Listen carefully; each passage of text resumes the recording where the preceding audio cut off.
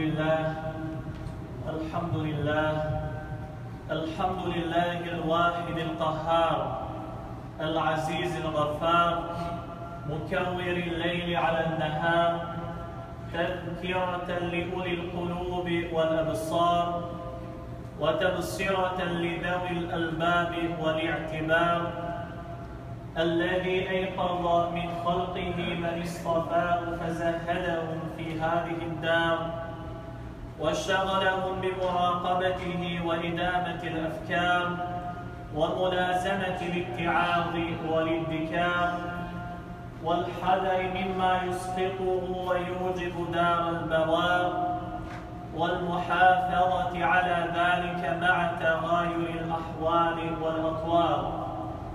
أحمده أبلغ حمد وأزكاه وأشمله وأنماه ونشهد أن لا إله إلا الله البر الكريم الرؤوف الرحيم ونشهد أن سيدنا محمدا عبده وحبيبه ورسوله.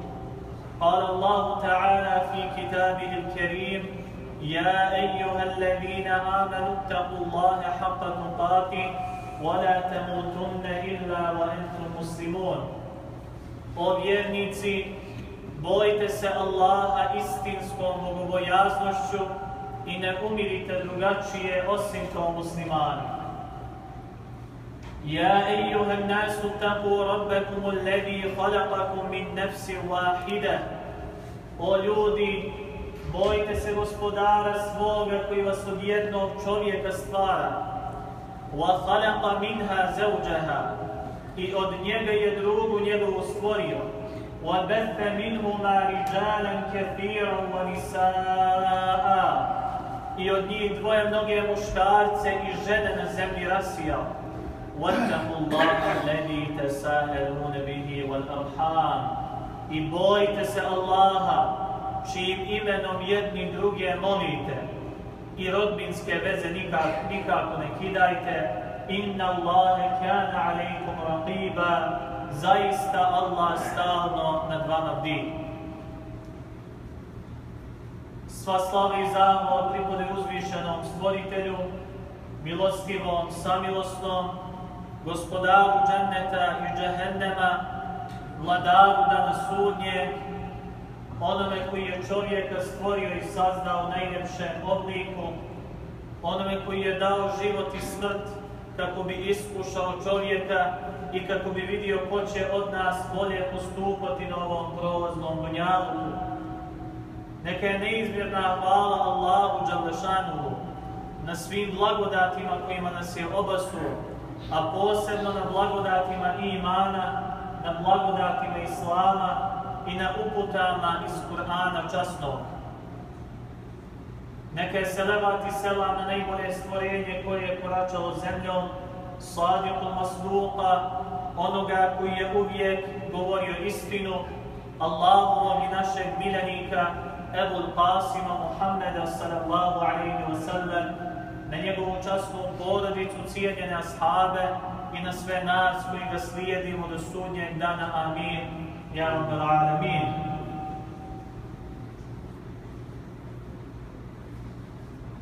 U avgustu prošle godine svjetski poznati futbaler Emanuel Adebayor, koji je igrao u Arsenalu i koji je igrao u ostalim svjetski poznatim klubovima, prihvatio je islam. Pa su na engleskom jeziku objavili članak u kojem on kaže 13 razloga zbog kojih sam prihvatio islam. Poštovani džemate, ja sam mislio da bi ova tema danas bila veoma korisna. Ja molim Allah da pošlanku da se okoristimo od današnje hudbe.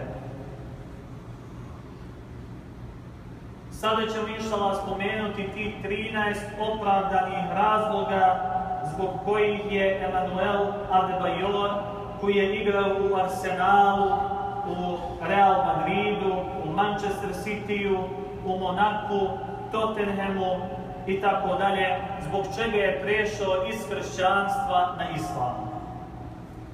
Pod broj 1 on kaže Isus, odnosno Isa a.s. nas je naučio da je samo jedan Bog i da samo jednog Boga trebamo obožavati. Međutim, mi kršćani, naši lideri, popovi i tako dalje, obožavaju tri Boga i smatraju Isusa Božijim sinom. Međutim, sama Biblija govori suprotno.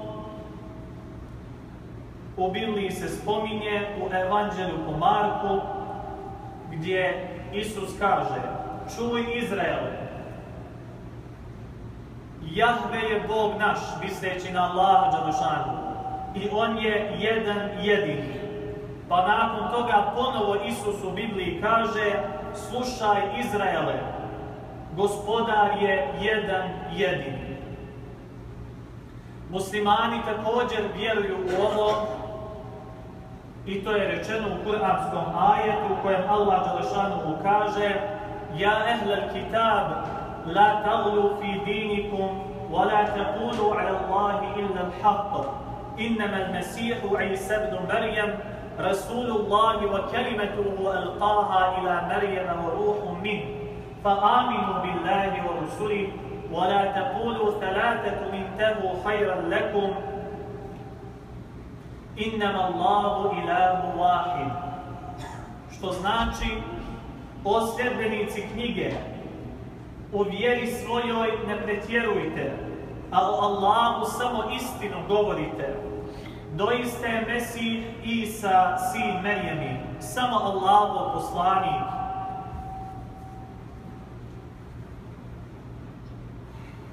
I nemojte govoriti njih su trojica. Prestanite, bolje vam je, samo je Allah, Bog jedini, neka je hvaljen i veličanstven On. Dakle, Adebayor kaže da je prvi razlog zbog čega je prihvatio islam jednoća sporitelja. Drugi razlog, kaže ovaj poznati futbaler, Isus, odnosno Isa alaihi salam, nije jeo svinjetinu, kao što je rečeno u Bibliji, a svinja ne preživa i ona je za vas nečista. Dakle, ovo se spominje u Bibliji. Muslimanima je to također rečeno u Kur'anu. قل لا أجد فيما أوحي إلي محرما على طاعم يطعمه إلا أن يكون ميتة أو دما مسفوحا أو لحم خنزير فإنه رجس أو فسقا أهل لغير الله به. Što znači, reci, ja ja vjerujem u ono što mi se objavljuje i, sve u, i u sve ono što ne nalazim da je zabranjeno jesti. Allah nam je zabranio strv, lešinu i krv koja šiklja i zabranio vam je svinsko meso i zabranio vam je sve ono što je zaklano u nečije drugo ime mimo Allaha. I dakle, ovo je druga stvar koju je on našao da kao sljedbenik Isusa i on kaže na kraju, dakle svega ovoga kaže muslimani bolje prate Isusa nego kršćani. Dakle, oni bolje prate Isa alihi selama nego mi kršćani. I zbog toga sam ja postao musliman, da bi u potpunosti pratio Isa alihi selama, a i nakon toga Muhammeda sallallahu alihi wasallam. Treća stvar, kaže Adebayor, Isus alaihi salam se pozdravljao sa riječima Esselamu alaikum, neke je mir sa vama. I u Bibliji to stoji gdje se kaže Isus im stoga ponovo reče mir vama, kao što mene Allah posla i ja šaljem vama, dakle mir. Dakle, Isus se pozdravljao sa riječima Esselamu alaikum. Muslimani se također pozdravljaju sa istim, sa istim riječima. Isus, odnosno Isa alihi salam, je uvijek govorio ako Bog da, ili inša Allah. Muslimani također ovo govore prije nego što bilo šta urade. kao što je rečeno u kuranskim ajetima u kojima Allah Đalešanuhu kaže وَلَا تَقُولَنَّ لِشَيْءٍ إِنِّي فَاعِلٌ ذَلِكَ قَدًا إِلَّا أَن يَشَاءَ اللَّهُ واذكر ربك إذا نسيت وقل عسى أن يهديني ربي لأقرب من هذا رشدا Nikako za bilo šta ne reci, uradit ću to sigurno sutra, ne dodavši inša Allah, odnosno ako Bog da. A kada zaboraviš, sjeti se gospodara svoga i reci, gospodar moj će me uputiti na ono što je bolje i korisnije od ovoga. Dakle, muslimani prije bilo čega, kada hoće nešto da urade, u budućnosti moraju da kažu inša Allah. Dakle, ako Bog da, ako mi Allah bude dozvolio i tako dalje. Iste ove riječi je koristio i Isa alaihi selam i to se dakle spominje u Bibliji. Peta stvar koju on navodi jeste da je Isus, odnosno Isa alaihi selam, prao svoje lice, prao svoje noge prije nego što bi obavljao molitvu. To muslimani danas rade pet puta dnevno, dok kod kršćana toga nema. Isus, odnosno Isa alihi salam i drugi poslanici u Bibliji su se molili glavom spuštenom na tlo. Dakle, u Bibliji se spominje da je Isa alihi salam padao na seđdu uzvišenom gospodaru Allahu Đalešanu i to stoji u, sjedeć, u sljedećim stihovima Gospodaru moj, ako je moguće, neka me mi mojiđe ova čaša, ali ne kako ja hoću, nego kako hoćeš ti. I nakon toga on pade ničice, moleći se. Dakle, Isa alihi selam, odnosno Isus, padao je na seždu uzvišenom gospodaru Allahu Đanašanu. A Allah spominje u Kur'anu za Merijemu u suri Ali Imran Ja Merijem uqnuti li rabbiki wasđudi walke'i ma'al raki'in. O Merijema, ponizna budi gospodaru svome i padaj licem na tle i namaz klanjaj s onima koji klanjaju. Kod kršćana imate samo jednom nedelju da se ode u crkvu i nema klanjanja, dakle nema nikakvog umora, održi im se govor i nakon toga se razilaze. Međutim, Isus koga oni navodno slijede, Isus je klanjao namaz. Sedma stvar koju spominje Adebajor, Isa selam je nosio bradu i oblačio galabiju, što je za muslimane, što je za muslimane koji su muškarci sunnet. Isa selam je slijedio zakon i poštovao je sve Božije poslanike. On kaže i spominje to u Bibliji, ne mislite da sam došao ukinuti zakon ili poslanike Nisam došao ukinuti, nego sam došao ispuniti. I ovo je evanđelje po Mateju. Muslimanima je to rečeno u kuranskim ajetima u suri Ali Imran, قل آمنا بالله وما أنزل علينا وما أنزل على إبراهيم وإسماعيل وإسحاق ويعقوب والأسباط وما أوتي موسى وعيسى والنبيون من ربهم Ti reci, mi vjerujemo u Allaha i vjerujemo u ono što je nama objavljeno i u ono što je objavljeno Ibrahimu i ono što je objavljeno Ismailu i ono što je objavljeno Ishaku i u ono što je objavljeno Isu, Isa sinu Merijeminom, mi ne odvajamo ni jednog Božijeg poslanika. Dakle, isto to je činio i Isa alihi selam. Isa alihi selam u Bibliji spominje da će doći zadnji Božji poslanik Muhammed sallallahu alaihi wa sallam. Međutim, kod kršćana je to suprotno. Oni ne vjeruju u sve Božije poslanike, a pogotovo ne vjeruju u Muhammeda sallallahu alaihi wa sallam. Dok njihov navodno Bog ili Božji sin, kako ga oni zovu, Isa alihi selam, je vjerovao u sve Božije poslanike i on nije došao da ukine ničije vjerovanje, već je došao samo da dopuni. Isto kao što je alaihi wasallam došao da dopuni. Deveta stvar koju pominje Adebayor, Isusova, odnosno Isaova, alihi sela, majka, Merijem, ona se oblačila skromno, potpuno pokrivajući svoje tijelo i nosila je hijab. Dakle, i nosila je hijab. I ovo se spominje u Bibliji. Neka neka se vaše žene potpuno pokriju i neka ne nose pletenice sa zlatom i biserjem skupocijenim.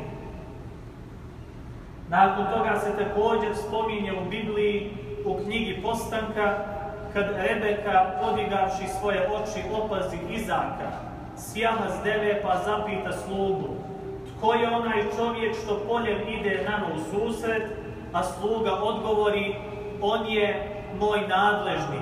Na to ona uze koprenu te se pokri. Dakle, ovo se spominje u Bibliji. Muslimanke se također oblače skromno, kao što im je naređeno u kuranskom ajetu u kojem Allah Đalešanu kaže Ja ejuhan nebi, wa banatik, wa nisali mu'minine, yudnina alaihinne min džarabibihin. Što znači, o vjerovjesniče, reci ženama svojim i kćerima svojim i ženama vjernika, neka spuste haljine svoje niza se, tako će najlakše biti prepoznate, pa neće napastvovane biti, a Allah prašta i samilostanje.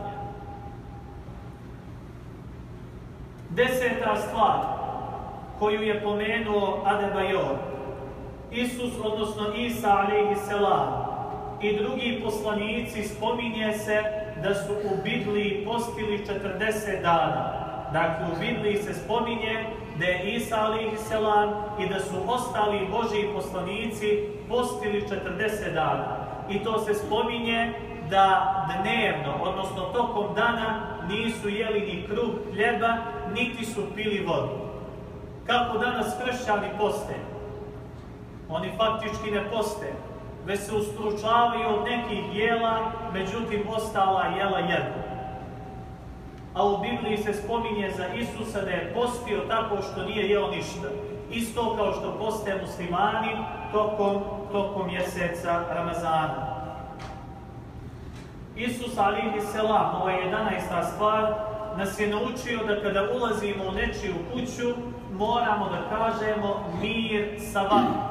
Dakle, moramo da poselamimo te ukućane i da kažemo mir sa vama. Ovo se također spominje u suri An-Nur, u ajetu kojem Allah Đalešanuhu kaže فَإِذَا دَخَلْتُمْ بُيُوتًا فَسَلِّمُوا عَلَى أَنفُسِكُمْ تَحِيَّةً مِنْ عِنْدِ اللَّهِ مُبَارَكَةً طَيِّبًا Što znači, a kada ulazite u kuće, vi ukućane njene pozdravite pozdravom od Allaha propisanim, blagoslovljenim i uljubnim.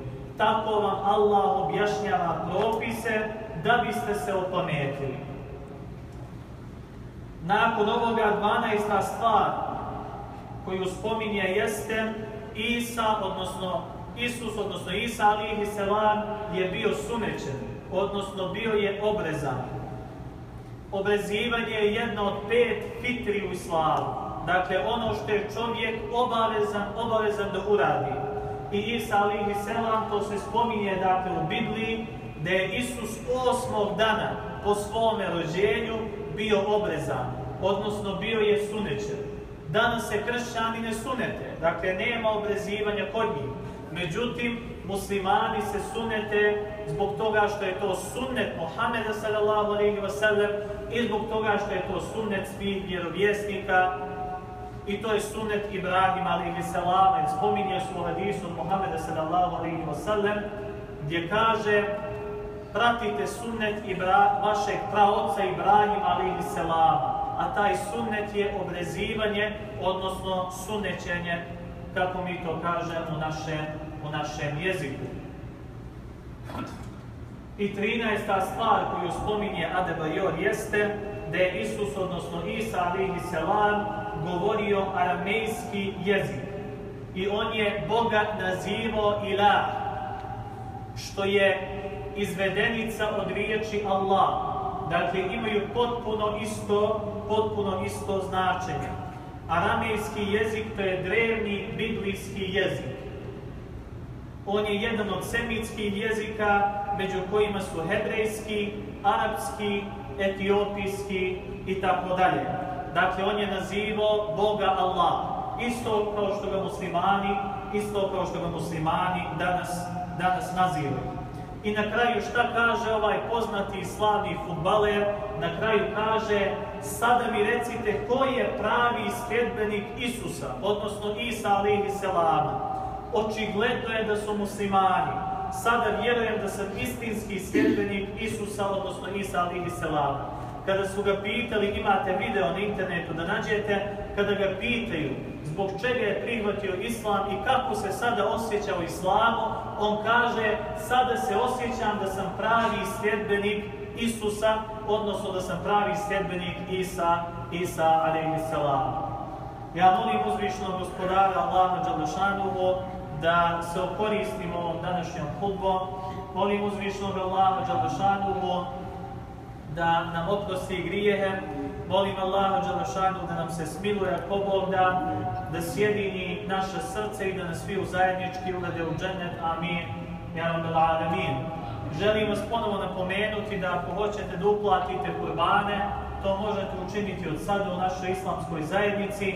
9. septembar je zadnji rok, stoga molim vas da požurite, jer mi moramo da najavimo njima koliko kurbana trebaju da zapolju, kada da ih zakolju i tako dalje.